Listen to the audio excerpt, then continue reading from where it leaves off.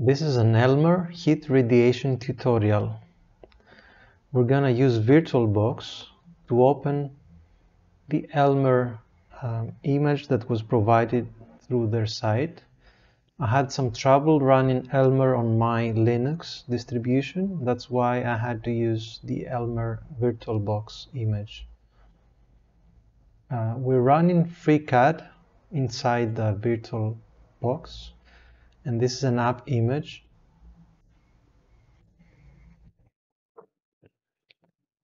We're gonna create a new project from the drop down menu in the toolbox. We select part. And here we're gonna fabricate it the, the models that we are we want to experiment with. Initially I'm gonna create two boxes and modify them. So I create two surfaces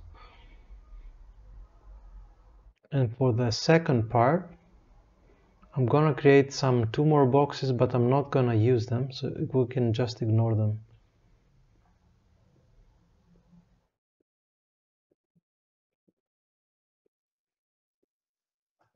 The first step is to create our model in FreeCAD and then export it. So we can open it with GMSH that we're gonna perform the separation of the volumes into groups and then create a mesh, export this mesh, open it into Elmer GUI, perform all the simulations and then the results are going to be exported in a format that ca they can be opened in ParaView.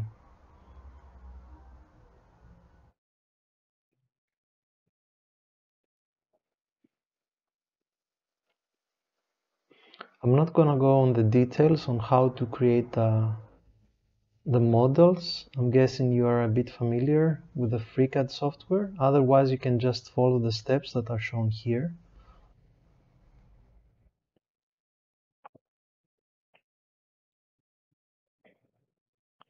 From those four elements, we're gonna use only two of them for the simulation.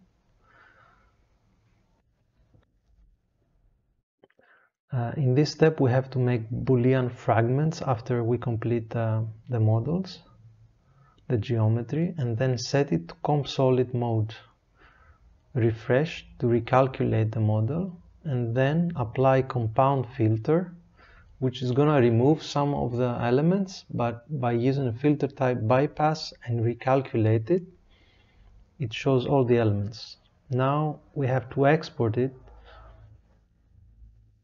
in a step file that can be opened from GMSH.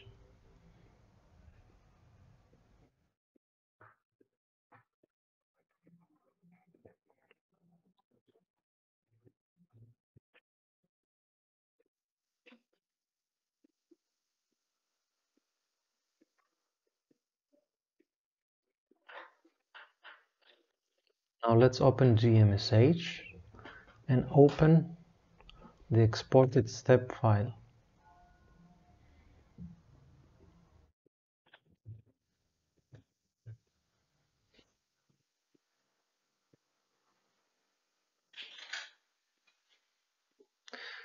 From here we have to go to options, geometry, visibility and tick the volumes so we can see the volumes.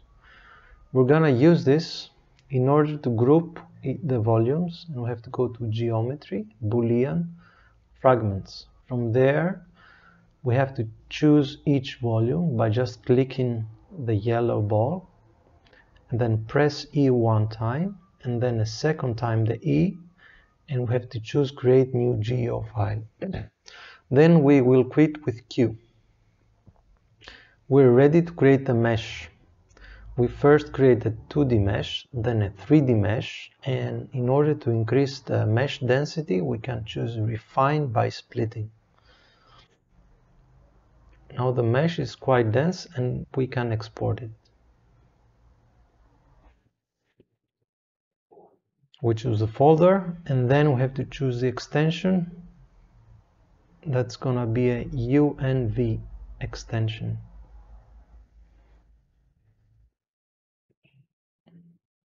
Save it and click OK without choosing any of the other boxes.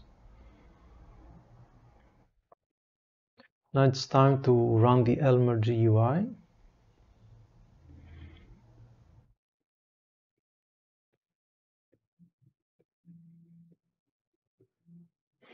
We're gonna open the mesh that we created, the UNV file. And now we have to verify that each volume is independent. So each volume has its own body. Then we're going to create an equation. We're going to choose heat equation and click active. We can choose all the bodies and hit OK. Now we're gonna set a material. We can choose any material. For the testing purposes, we're gonna choose aluminium. Choose all the bodies to have the same property and click OK. Next, we have to uh, create some boundary conditions. So here we go to heat equation and we have to set uh, some external temperature if we want to use radiation choose diffuse gray set an emissivity and click the boundary open tick box and this is used when we want two surfaces to interact with radiation now we're going to create another boundary condition where we're going to apply some external temperature so we have a temperature difference and we can see the temperature flow in the diagram later. We hit OK. Now we have to set the surface that we want to have the radiation and the external temperature. So we choose the surface that are going to interact. We set radiation, hit OK. And then we choose another surface and apply the external temperature. The next step is to create um, a folder where all our files are going to be saved. Select it and click open. Now we go to SIF, generate, so this generates the mathematical script and then we save. After that we can go to run and click the run solver. We have to check that the solver is finished without any errors we don't need those windows anymore so we can close them and now the result is ready and we can view the results in ParaView. But to do that I had some problem running ParaView inside the VirtualBox so I have to export the files to my Linux distribution and I'm doing this using the shared folders option.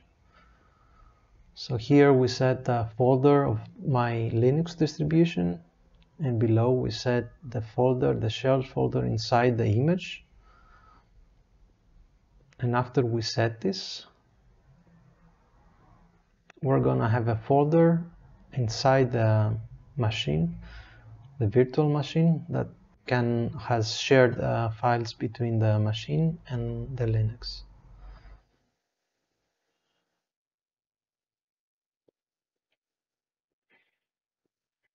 So we can see that this folder has uh, needs root permissions.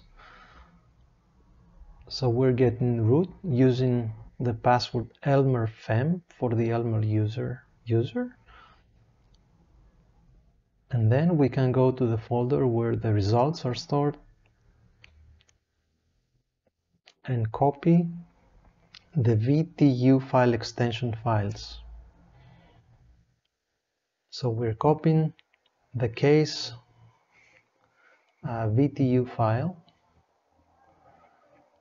to the Elmer shared folder.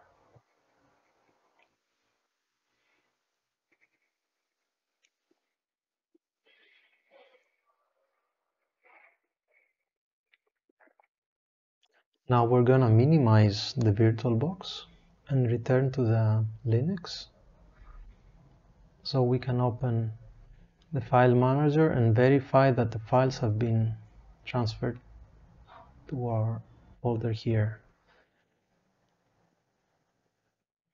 Let's open ParaView and load this file.